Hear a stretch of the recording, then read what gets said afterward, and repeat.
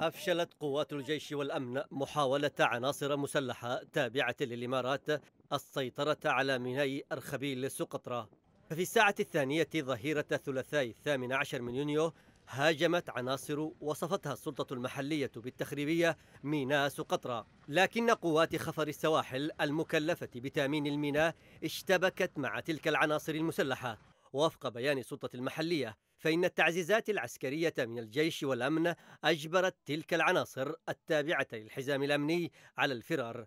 يأتي هجوم الحزام الأمني على الميناء بعد يوم واحد من اعتدائه على موكب وزير الثروة السمكية فهد كفايين ومحافظ جزيرة سقطرى رمزي محروس في مديرية قلنسية. وتزامنت هذه الأحداث مع زيارة رسمية لرئيس الوزراء معين عبد الملك إلى أبو ظبي. سلسلة الأحداث الأخيرة في الجزيرة. تشير إلى أن اندلاعها يأتي على خلفية منع محافظ سقطرى إنشاء أي تشكيلات عسكرية خارج إطار الدولة ورفضه السماح لباخرة إماراتية مطلع الشهر الجاري من إنزال حمولتها التي يرجح أن تكون أسلحة إماراتية. في مايو الماضي اتهمت مصادر حكومية سفينة تابعة للبحرية الإماراتية بإنزال أكثر من 100 مسلح انفصالي إلى سقطرى تم تدريبهم في معسكرات تابعة للإمارات بعدن ووزعتهم في أكثر من منطقة.